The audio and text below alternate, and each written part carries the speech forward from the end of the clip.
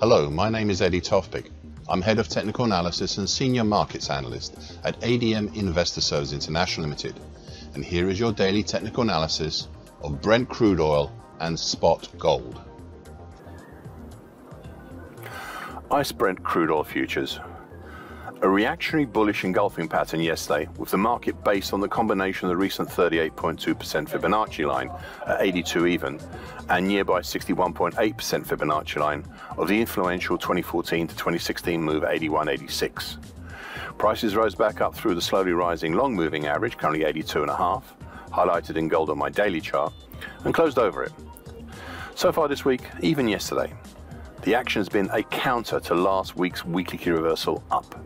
Looking below the 61.8% Fibonacci line at 81.86, the next support, and is for the moment a dubious one, is the declining medium moving average highlighted in on my daily chart, currently at 81.10. And that's followed lower down by the rising short medium moving average, currently at 80.48, and the bright red lower channel line, currently at 79.36 and that's of the December 2023 to date bull channel. Now looking above, we next have the recent 50% Fibonacci line of the September to December 2023 move at 84.99. This resistance is notable as it has capped the market since late January.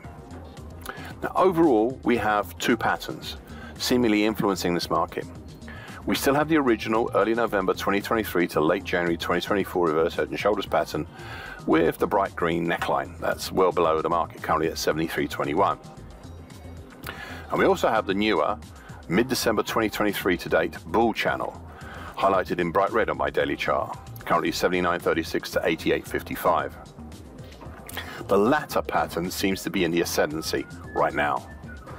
So far today, a little lower down to testing the long moving average in gold again, and possibly being an immediate countering bearish harami right now. Spot gold, a sixth, a sixth bullish white soldier yesterday. Most important of all, it was another new all-time high and all new time high close. The market highlighted, or sorry, exploited the breakthrough higher over the combination of November 2023 to high at 2135, plus the extension of the upper trend line, currently 2141, that is highlighted in dark blue, of the mid-August to mid-December 2023 ascending wedge pattern, as well as the first 50% projected Fibonacci line I had drawn at 2141 also and that's for the recent uh, December to mid-February, December last year to mid-February this year action. The question I posed yesterday is how should we regard the market? In that, should we look at the action since October last year as a potentially large double top, or should we look at the action since about December last year to February this year as a halfway hesitation with the first uplift being from October to early December 2023, and the action this March being the second up leg. It is increasingly looking like the more daring second option of the bullish halfway hesitation is on the cards.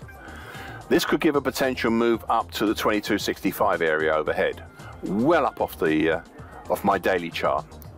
In the meantime, the next 100% projected Fibonacci line is at 2193. The next 50% projected Fibonacci line is at 2217. The nearest Gann number is at 2160, and the nearest compound Gann number is at 2187. So far today, a further move higher into new all-time high territory. Thank you for listening. This short version broadcast gives essential market patterns and consequences.